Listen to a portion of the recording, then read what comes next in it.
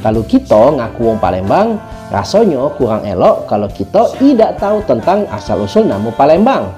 Kalau bukan kita wong Palembang, siapa lagi yang nak ngejago sejarah budaya kita Palembang ini? Mengenai asal-usul nama Palembang baik tidak cuma sikok versi, tapi ada beberapa versi. Jangan sampai Mang Cebica tidak tahu. Karena itu, peh kita ulas dan tonton video Mang Dayat sampai habis tanah air kita. Beraneka ragam budaya Assalamualaikum warahmatullahi wabarakatuh. Ketemu Mang Dayat di channelnya Wong Palembang. Mohon dukung Mang Dayat untuk terus ngangkat dakwah, sejarah, budaya, dan wisata kota Palembang Dengan mensubscribe dan klik tanda loncengnya. Terima kasih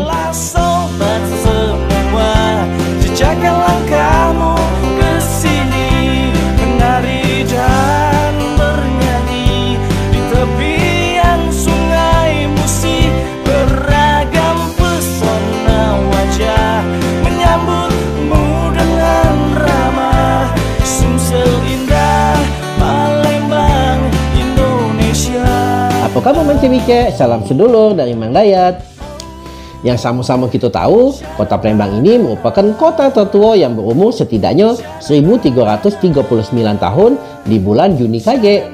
Kalau kita jingok berdasarkan prasasti Sriwijaya yang dikenal dengan nama prasasti Kedukan Bukit.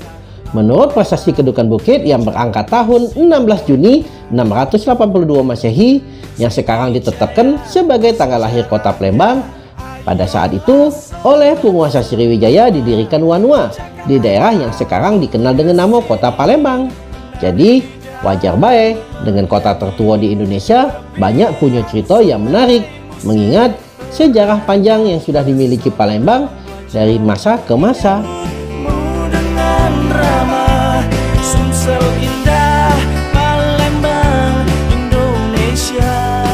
Palembang sering disebut juga dengan beberapa versi. Mungkin ini karena adanya perbedaan dialek atau perbedaan aksara. Ada yang jelas nyebut ke Palembang, ada yang Palembang, ada juga yang Palimbang. Bahkan Palimbang ini menjadi nama sebuah kota di Provinsi Sultan Kudarat, Filipina. Ditulis ke juga sejarahnya sekelompok nelayan yang berasal dari Palimbang, Indonesia terdampar di sana yang kemudian menetap dan bercampur dengan pribumi. Penduduknya beragama Islam dan juga kabarnya baju adatnya pakai arisan gede. Ada juga catatan dari kronik-kronik Tiongkok yang menyebut Palin Fong yang artinya pelabuhan tua atau mereka juga pernah menyebutkan sebagai negara kukang. Beragam pesona wajah menyambutmu dengan ramah Sumsel indah Palembang Indonesia Kapan nama Palembang ini lahir? Apa Palembang ini lahir sejak Sriwijaya runtuh? Apa sebaliknya? Palembang ini lahir lebih dulu dari nama Sriwijaya. Untuk kapan nama Palembang lahir, tepatnya belum pacak dipastikan. Namun Mang Dayat coba kutip dari beberapa petunjuk yang menyebutkan nama Palembang. Yang pertama, tulisan catatan Insing. Apabila Insing melawat Sumatera, ia melalui dua kerajaan yang besar, yaitu Melayu berpangkalan di Sungai Batang dan Sriwijaya berhampiran dengan Palembang. Catatan Icing bersumber dari abad ke-7 yang artinya Palembang sudah disebutkan dari abad ke-7. Yang kedua, ditemukannya istilah negara Palinfong atau Palembang dalam catatan Chu Fan Chi karya dari Chon Juhan tahun 1225. Yang ketiga, ada sejarah tulisan Melayu yang aslinya ditulis sekitar tahun 1511 yang berbunyi Tanah Andalas Palembang namanya. Demang lebar daun rajonya asal daripada anak cucu Raja Suran. Muaro Tatang adalah sunginya, adapun nama Palembang ini ialah Palembang yang sekarang inilah. Maka di hulu Muara Tatang itu ada sebuah sungai, Melayu namanya. Yang keempat ditemukannya naskah prasasti Matara Singa Jaya Himat Naskah ini merupakan prasasti tembaga yang ditemukan di Palembang yang gunakan asara kaganga atau rencong. Dengan bahasa Melayu kuno, naskah Matahari Singa Jaya Himat diperkirakan berasal dari abad ke-13 sampai abad ke-15. Jelas-jelas disebut nama Palembang dan Bukit Siguntang. Yang kelima, dalam negara Kartagama, karangan Prapanca pada tahun 1365 di dalam pupuh ke-13, dalam karangan ini juga menyebutkan nama Palembang. Mungkin kalau Mang Cebici ada informasi mengenai disebutkannya nama Palembang pada masa lampau, bolehlah di-share di kolom komentar. Sumsel indah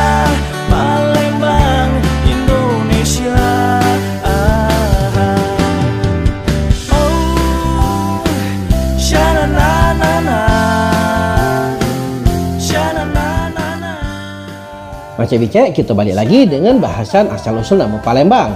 Mang Dayat membahas setidaknya tiga versi asal-usul nama Palembang. Yang pertama, Palembang berasal dari nama seorang Pai Limbang, seorang menteri negara kekaisaran Cina yang juga merupakan murid dari Sunan Gunung Jati. Pai Limbang datang ke Palembang bersama putri Ong Tin untuk mencari Sunan Gunung Jati.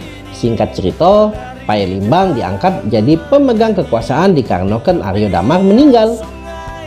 Yang kedua, Palembang berasal dari kata melimbang emas.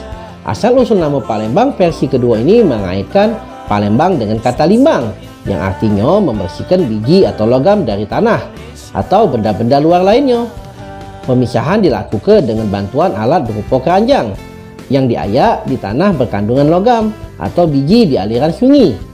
Pa adalah kata depan yang dipakai untuk menunjuk satu tempat berlangsungnya usaha atau keadaan. Versi ini dikaitkan erat dengan peran Palembang pada masa lalu sebagai tempat mencuci emas atau biji timah. Setidaknya ada belasan catatan yang menyebut ke Palembang ini sebagai negeri emas atau pulau emas atau dalam bahasa Sanskerta disebut Swarna Dwipa. Asal usul nama Palembang yang ketiga berasal dari kata Pa dan Lembang. Menurut topografinya, kota Palembang memang dikelilingi oleh banyu, bahkan terendam oleh banyu. Banyu tersebut bersumber baik dari banyu sungai, banyu rawa, maupun banyu hujan. Bahkan saat ini, kota Palembang masih terdapat 52,24% tanah yang tergenang oleh banyu dari data statistik 1990. Ini data dari tahun 1990. Apalagi dulu kan, pasti lebih lembeng lagi kota Palembang ini. Kondisi inilah yang mungkin nenek moyang kita wong-wong Palembang menamakan kota sebagai Palembang dalam bentuk bahasa Melayu pa atau pe sebagai kata menunjukkan suatu tempat atau keadaan. Sedangkan lembeng atau lembang artinya tanah yang rendah. Lembah akar yang membungkuk karena lama terendam banyu. Menurut Kamus Bahasa Melayu. Sedangkan menurut Kamus Bahasa Palembang Melayu, lembang atau lembeng ini adalah genangan banyu. Jadi Palembang adalah suatu tempat yang digenangi oleh banyu.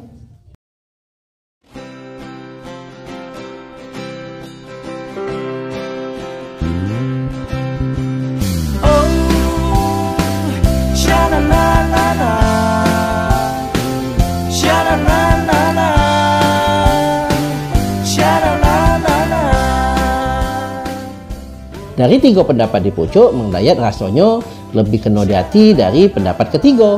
Karena dari catatan Ising jelas menyebutkan Palembang.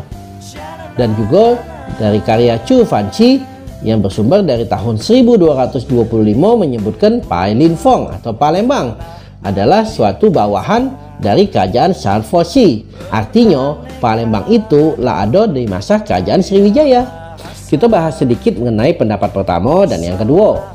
Pai Limbang menggantikan Aryo Damar. Sedangkan Aryo Damar ini berkuasa pada abad ke-15 yang artinya teori ini bisa kita kesampingkan karena artinya Pai Limbang datang ke negeri kita ini, negeri kita ini sudah bernama dengan Palembang.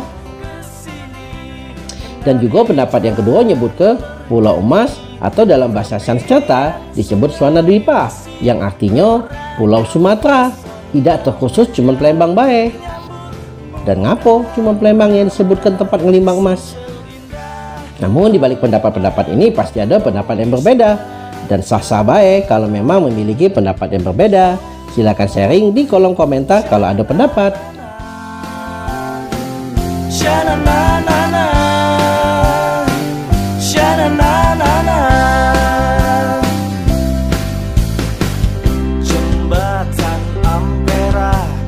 Menjadi simbolnya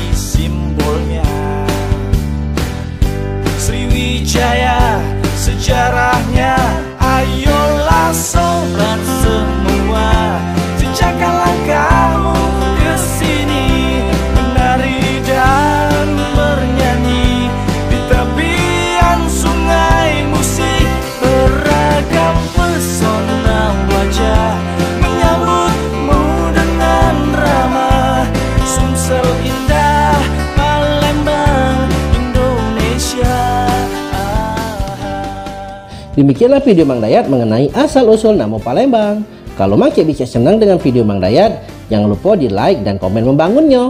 Share juga kalau menurut Mang Cek video Mang Dayat ini bermanfaat. Mohon support juga channel Mang Dayat dengan mensubscribe dan klik tanda loncengnya agar Mang Dayat terus bisa mengangkat dakwah, sejarah, budaya, wisata, dan dinamika kota Palembang pada khususnya dan Sumatera Selatan pada umumnya. Kalau ada yang kurang berkenan baik dari narasi ataupun video, Mang Dayat mohon maaf. Kepada Allah, Mang Dayat mohon ampun. Wassalamualaikum warahmatullahi wabarakatuh. dan bernyanyi di tepian sungai Musi beragam pesona wajah menyambutmu dengan ramah